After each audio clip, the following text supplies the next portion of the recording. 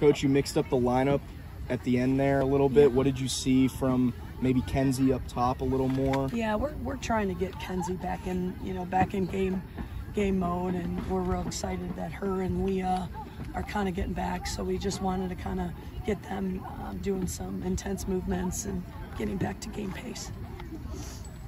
On the goal, how difficult is that play to defend when it's so close to the net and driven pretty well? In? Yeah, I got to look at that again.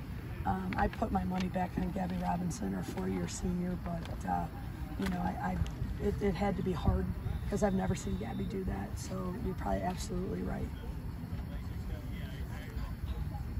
On the penalty, it looked like Jordan got some pretty good pace on it, but it's just not close enough to the to the post. Yeah, you know, again, you know, Jordan's our go-to, and unfortunately, it fell a little short tonight. Um, so it was frustrating because I thought we did enough to win this game, um, if not come away with a draw. But uh, unfortunately, this game is uh, is brutal. But uh, we got to kind of turn it back up and get ready for Sunday. What did you think of the energy level from your team to start? Did you think that maybe played into the early goal, or, or, or not? I mean, you know, I, I thought I thought we came out with high intensity, and you know, unfortunately, we made a mistake. They capitalized. They made a mistake, and we didn't.